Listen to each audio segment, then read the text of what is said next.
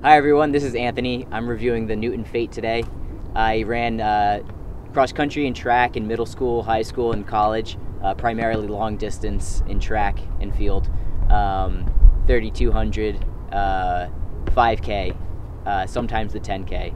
I've tried a lot of different shoes, a lot of different brands, uh, but never the Newton, so I'm excited to try it out today. Um, here we go.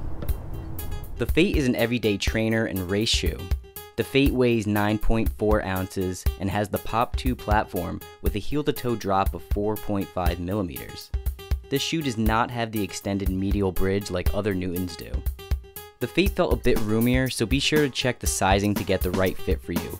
There's nothing worse than a shoe that's a little bit too big or a little bit too small.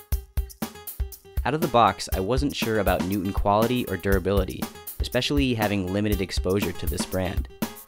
Having run in them, it seems like the Fate will hold up like other brands you might be familiar with. Mileage should not be an issue with the Fate.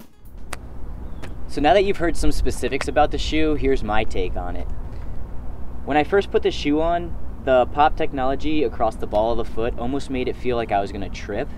But then when I started running in it, it really forced me to run on the front of my foot. Um, and it was also acting as a nice soft cushion too.